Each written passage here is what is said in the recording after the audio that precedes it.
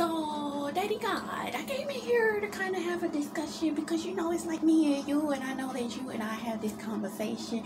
But I mean, you know how when I come to you and I tell you, I'm like, yo, so in all actuality, we got that agreement, right? That when I'm wrong, you gonna tell me I'm wrong. But I think they was wrong, girl.